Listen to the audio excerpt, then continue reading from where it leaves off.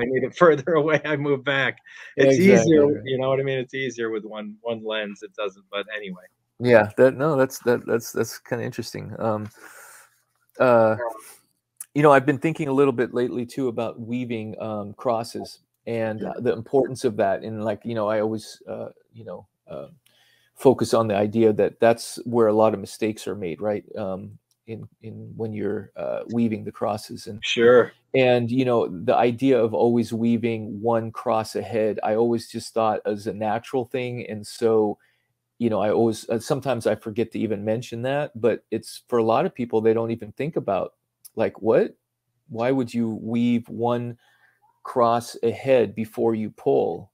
Right. Um, and well, of course, you know we know that the reason that you do that is because it uh, reduces the friction on the strings as you're pulling because sure. basically it, it makes it easier when you're weaving in there it gives you more space and it just um, because one thing that that's a place where you lose tension as well, right? Because when you when you pull across it's not like pulling a main with your machine because the mains don't have any pulling a string straight for tension.